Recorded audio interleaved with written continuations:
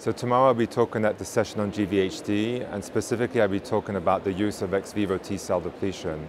And we know that one of the main complications of an allogeneic transplant is graft versus host disease.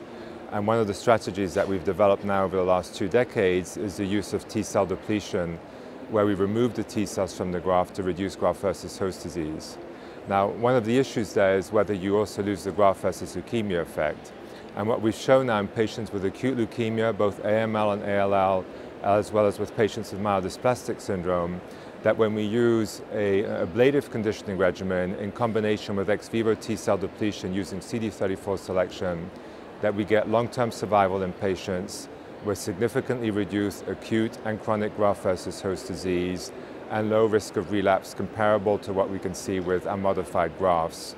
And we've done data comparisons with the group at MD Anderson, where we've showed that our results in AML, ALL are identical in terms of survival and relapse rates, but significantly less graft versus host disease.